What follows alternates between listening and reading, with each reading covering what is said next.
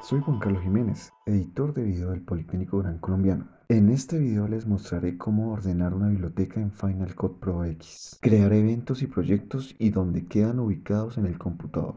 Esta es la interfaz de Final, el cual hablaremos en otros videos. Una biblioteca es un contenedor en donde podemos guardar nuestros archivos para la edición, trabajando directamente con los archivos ubicados en el disco o copiándolos como haciendo un backup dentro de la biblioteca. Vamos a archivo, nuevo, biblioteca. Nos abre una ventana de diálogo en el cual ubicaremos la biblioteca. Al crearla nos aparece una carpeta llamada colección inteligente y otra con una estrella que se llama el evento.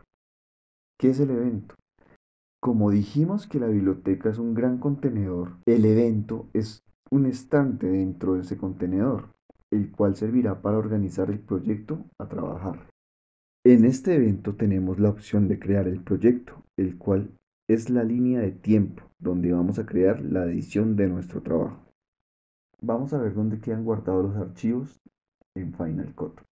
Vamos a, a, videos donde guardé mi biblioteca Aquí aparece la biblioteca, le vamos a dar clic izquierdo, mostrar contenido del paquete y aquí nos aparecen los eventos, los motion que se utilizaron y los renders.